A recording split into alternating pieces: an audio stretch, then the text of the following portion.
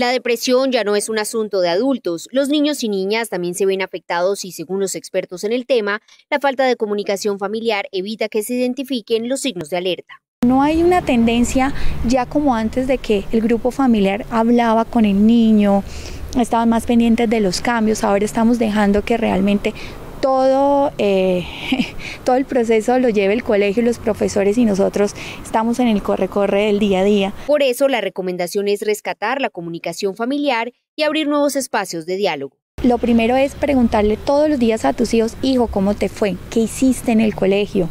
Eh, ¿Cómo estás con tus compañeros? ¿Jugaste hoy? ¿No, no jugaste? Según Mantilla, los niños por lo general cuando están deprimidos se aíslan, se muestran irritables y a veces presentan señales de no querer asistir al colegio. Hay muchos factores. En este momento son los factores en el entorno del colegio. Hemos visto que los aumentos del bullying escolar por parte de los compañeros e incluso por parte de los mismos familiares ha, digamos, presenta una tendencia a que los niños se puedan eh, entrar en depresión y tomar una decisión de poder suicidarse.